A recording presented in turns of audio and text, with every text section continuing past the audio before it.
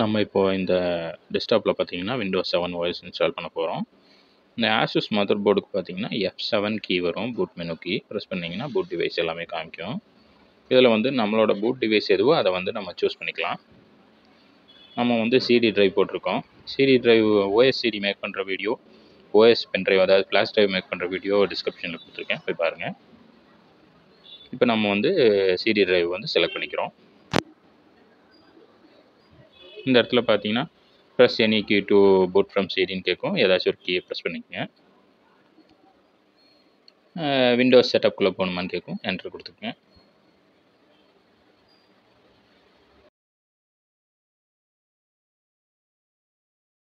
அப்புறம் பார்த்தீங்கன்னா start up settings வரும். இதில் பார்த்தீங்கன்னா லாங்குவேஜெலாம் இருக்கும். சூஸ் பண்ணிவிட்டு நெக்ஸ்ட்டு கொடுத்துருங்க.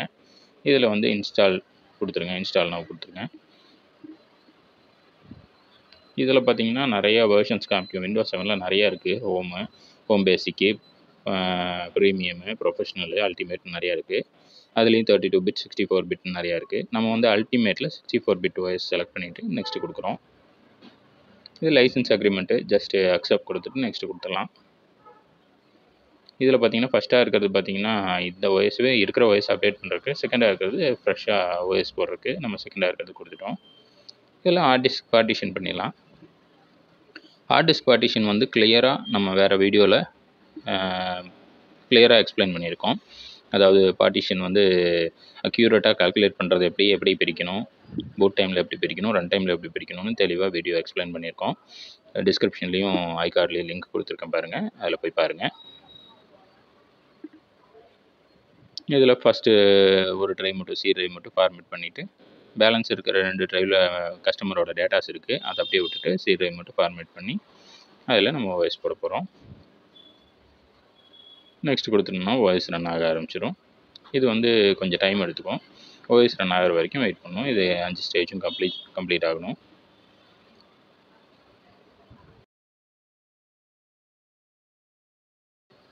காப்பிங் முடிஞ்சோன்னா அடுத்து எக்ஸ்பேண்டிங்னு வரும். அது வந்து ஹண்ட்ரட் பர்சன்டேஜ் ஆகிற வரைக்கும் வெயிட் பண்ணணும்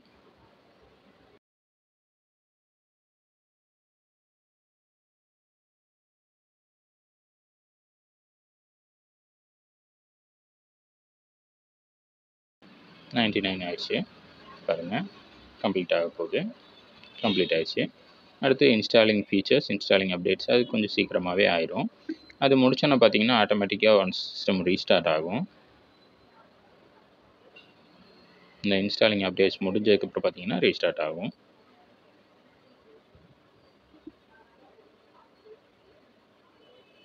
அவ்வளோதான் அது இன்ஸ்டாலிங் அப்டேட்ஸ் முடிஞ்சிச்சு. இப்போ ஆட்டோமேட்டிக்காக சிஸ்டம் ஒன்ஸ் ரீஸ்டார்ட் ஆகும்.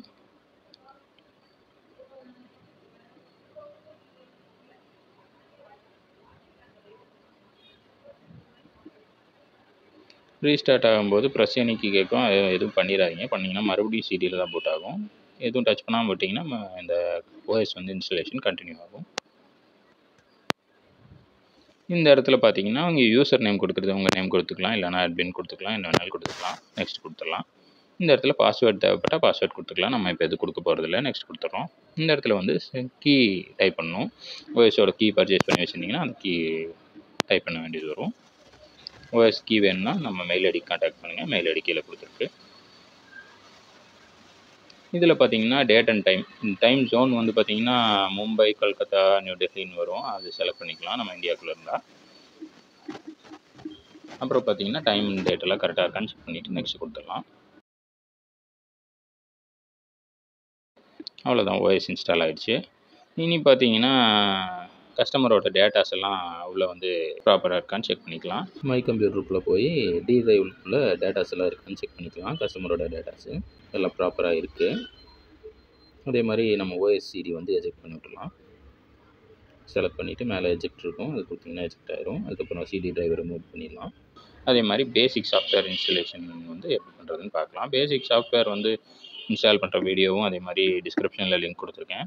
இந்த வீடியோவில் கொஞ்சம் ஃபாஸ்ட் பார்க்கலாம். கொஞ்சம் கிளியராக வேணும்னா கீழே டிஸ்கிரிப்ஷனில் லிங்க் கொடுத்துருக்கேன். அதில் போய் பார்த்துக்குங்க.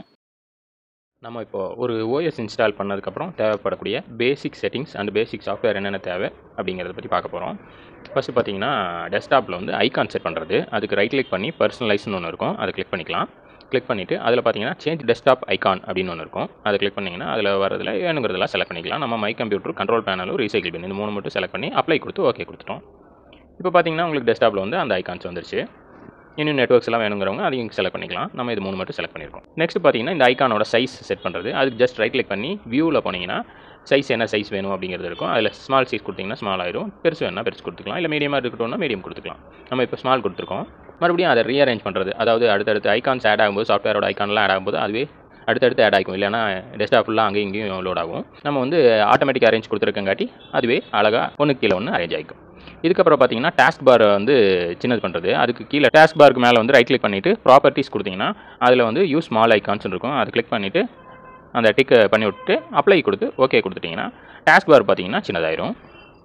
இது மூணு செட்டிங்ஸ் ப்ரியராக பண்ண வேண்டியது. இதுக்கப்புறம் பார்த்தீங்கன்னா பேசிக் சாஃப்ட்வேர்ஸ்லாம் என்னென்ன வேணும் அப்படிங்கிறது பார்க்க போகிறோம் பேசிக்ஸாக நம்ம ஃபஸ்ட்டு பார்த்தீங்கன்னா ஒரு வின்ரேர் சாஃப்ட்வேர் வேணும். ரேர் ஃபைல் ஜிப் ஃபைல்லாம் ஓப்பன் பண்ணுறதுக்கு ஏன்னா பேசிக்காக எல்லா சாஃப்ட்வேர் வந்து ரேர் ஃபைலில் கம்ப்ரஸ் பண்ணி தான் எல்லாம் போட்டிருப்பாங்க.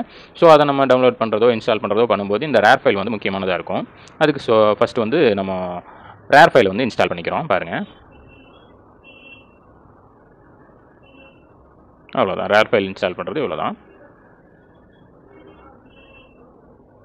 ரேர் ஃபைல் இன்ஸ்டால் பண்ணிட்டோம். அடுத்து பார்த்தீங்கன்னா பிடிஎஃப் ரீடர் இந்த பிடிஎஃப் ரீடர் பார்த்தீங்கன்னா நமக்கு பிடிஎஃப் ஃபைல்லாம் வரும் பார்த்தீங்களா அதெல்லாம் டவுன்லோட் பண்ணதை பார்க்குறக்கோ அதில் நம்ம கிரியேட் பண்ண வேர்டை வந்து பிஏ பிடிஎஃபாக கன்வெர்ட் பண்ணி சேவ் பண்ணியிருப்போம். அதெல்லாம் ஓப்பன் பண்ணுறக்கும் பார்க்குறக்கும் இந்த பிடிஎஃப் வியூவர் வந்து தேவைப்படும். அதை இன்ஸ்டால் பண்ணிட்டுருக்கோம் இப்போது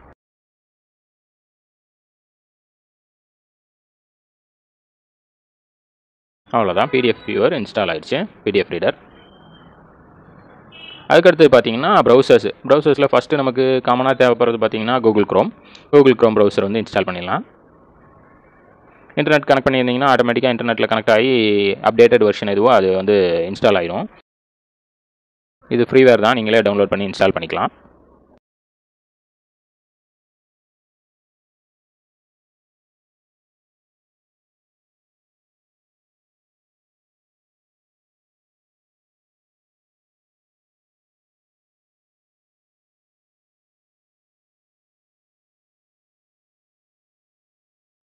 இன்ஸ்டால் ஆனதுக்கப்புறம் க்ரோம் ஆட்டோமேட்டிக்காக ஓப்பன் ஆகும். அதில் பேசிக் செட்டிங் பண்ணிக்கலாம். மேக்ஸிமைஸ் பண்ணி வச்சுட்டு கெட் ஸ்டார்டட் கொடுத்தீங்கன்னா அதில் என்னென்ன ஐக்கான் தேவைப்படும் அதாவது புக் மார்க்ஸ் எது எதெல்லாம் தேவைப்படும்னு கேட்கும். அதுக்கு தேவையானதை டிக் பண்ணிவிட்டு நெக்ஸ்ட் கொடுத்துடலாம். அப்புறம் பேக்ரவுண்ட் இந்த தீம் வந்து என்ன மாதிரி வைக்கணும்னு கேட்கும். அது உங்களுக்கு இஷ்டப்படுறத வச்சுட்டு நெக்ஸ்ட் கொடுத்துடலாம்.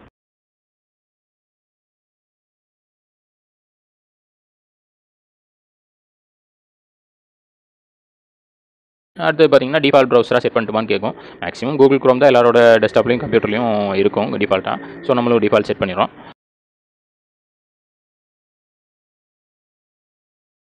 அவ்வளோதான் அதுக்கப்புறம் அடுத்த ப்ரௌசர் பார்த்தீங்கன்னா ஃபயர்ஃப்ளாக்ஸ் ப்ரௌசரு இது தேவைப்படுறவங்க இன்ஸ்டால் பண்ணிக்கலாம்.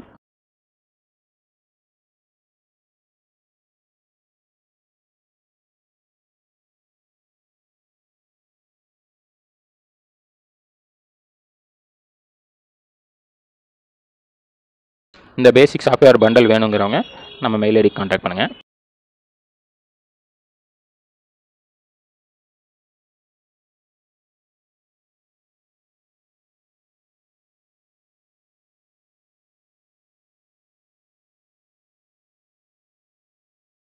அடுத்தது பார்த்தீங்கன்னா ஒபேரா ப்ரௌசர் இதுவும் வேணுங்கிறவங்க இன்ஸ்டால் பண்ணிக்கலாம்.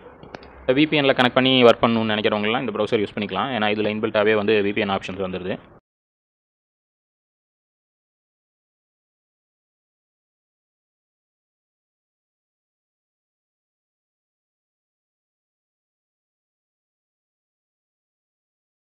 அவ்வளோதான் ஒப்பேரா ப்ரௌசர் இன்ஸ்டால் ஆயிடுச்சு. இதுக்கப்புறம் பார்த்தீங்கன்னா பிளேயர்ஸ் காமனாக நமக்கு இந்த ஆடியோ ப்ளே பண்ணுறக்கும் வீடியோ ப்ளே பண்ணி பார்க்குறக்கும் தேவைப்படுறது பிளேயர்ஸ் அது என்ன பிளேயர் உங்களுக்கு விருப்பமோ அந்த பிளேயர் இன்ஸ்டால் பண்ணிக்கலாம். நம்ம இங்கே பார்த்தீங்கன்னா கேஎம் பிளேயர் இன்ஸ்டால் பண்ணிகிட்ருக்கோம் கேஎம் பிளேயர் வந்து வீடியோ ரன் பண்ணுறதுக்கு கொஞ்சம் நல்லாயிருக்கும். நம்ம எக்ஸ்பீரியன்ஸ் பண்ணதில் சொல்கிறோம் இதில் பார்த்தீங்கன்னா கீபோர்ட்லேயே வந்து ஜஸ்ட் ஜஸ்ட் அப்படியே ஃபார்வேர்ட் பண்ணுறது ரிவர்ஸ் பண்ணுறது ஆடியோ இன்க்ரீஸ் பண்ணுறது எல்லாம் அந்த ஏரோ கீஸ் மூலமாகவே கண்ட்ரோல் பண்ணிக்கலாம் இந்த ஆப்பில்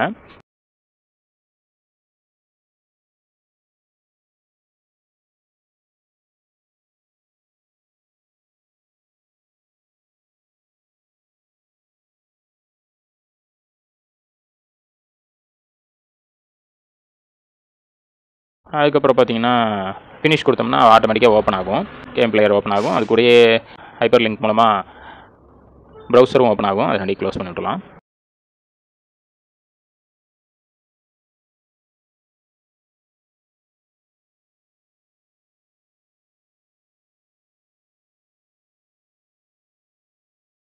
அடுத்தது பார்த்தீங்கன்னா விஎல்சி பிளேயர் இன்ஸ்டால் பண்ண போகிறோம்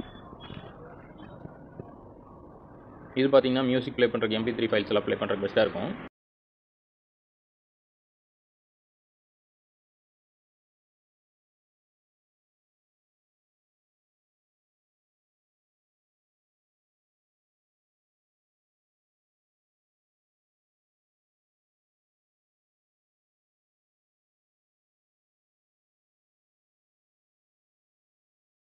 அவ்வளோதான் விஎல்சி பிளேயர் இன்ஸ்டால் ஆயிடுச்சு.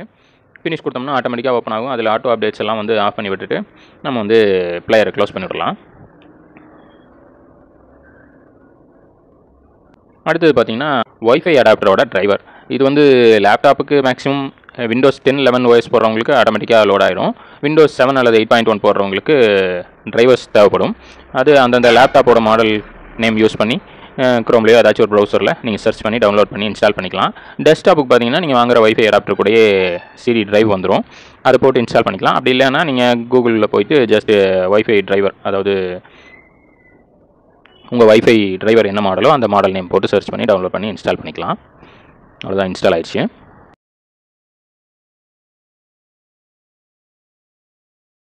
இந்த வைஃபை அடாப்டர் தான் நம்ம அந்த சிஸ்டமில் கனெக்ட் பண்ண போகிறோம்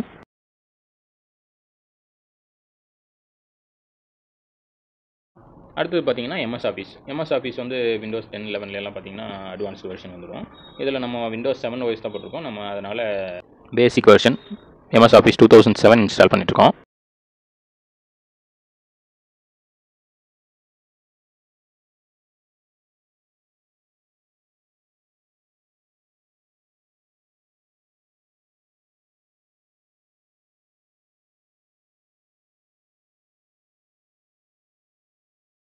இன்ஸ்டால் ஆகிட்டுருக்கு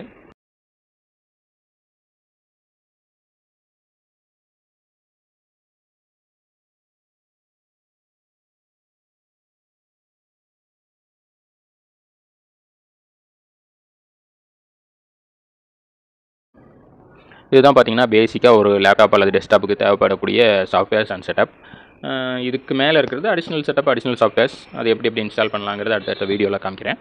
இந்த வீடியோ பிடிச்சிருந்தா லைக் பண்ணுங்கள் ஷேர் பண்ணுங்கள் மறக்காமல் நம்ம சேனல் சப்ஸ்கிரைப் பண்ணி வச்சுக்கோங்க. அடுத்த வீடியோஸ் அப்போ தான் உங்களுக்கு முன்னாடி வரும். தேங்க்யூ